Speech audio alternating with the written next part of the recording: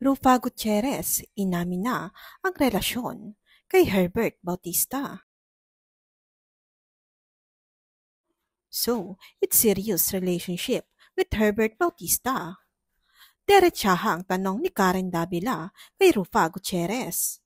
Sa panayam nito kasama ang dalawa nitong anak na sina Lorin at Venice Pectas. Naloka si Rufa ang tanging nasabi na lang. Grabe ka, pinagpawisan ako. It always serious with him. Isa pa ang diretsyong tanong ni Karen kay Lorin kung gusto nitong mag-asawa ang ina. I don't want anything specific for her. I want her to be happy and whatever that looks for her being alone with 80 cats. Nag-react si Rufa sa being alone at 80 cats, baka pwedeng dogs. If it's getting married or having a long-time partner, whatever that looks for her. I just want her to be happy. So, I never really thought too much about Me and my sister don't get too overly involved. Sagot ng panganay ni Rufa. Si Venice naman ang tinanong ni Karen kung ano ang take nito kapag may tinitake na guy. Well, I'm sure me and Lorraine made side comment at the start. My mom usually had a good judgment on picking who's right for her and who's wrong. Her current partner now is lovely. He's a nice guy.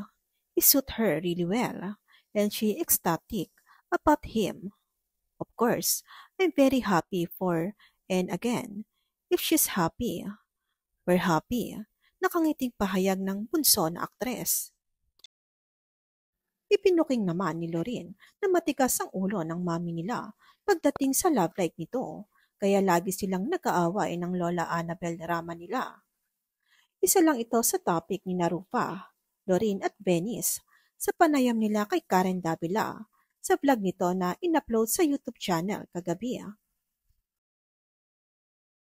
Matagal nang naliling si Rufa kay dating Quezon City Mayor Herbert Bautista pero walang diretsong pag-amin na magjowa sila Lagi lang sinasabi na special si Bistek sa aktres.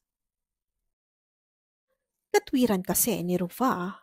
I think now, it's just better that a quiet personal life leads to more happiness. I never go into a relationship that's not serious. I'm always the serious type. You like him? Tanong ni Karen sa dalawang dalaga. Yeah, we do. Sambit ni Lorraine. I too, he's very funny. Say naman ni Venice. Isa pang tanong kung sakaling magpakasal si Narufa at Herbert. Sagot kaagad ni Lorraine, get married abroad so you can get a divorce. Humirit ang dalaga na gusto niyang maging bridesmaid. Magikinasal ang nanay niya at nabanggit pa na dapat magkaroon din sila ng prenuptial agreement bilang proteksyon at hindi lang sa nanay niya kundi in general, lalo na sa mga kababaihan. Sa comedy series na The House Arrest of Us, ina Daniel Padilla at Catherine Bernardo, nagka-developan si Rufa at Herbert kung saan kumanap sila bilang magulang ni Kat. Sa first take ni Rufa at Herbert ay pinasama ng huli ang mga anak ng una para raw magkakilanlan sila.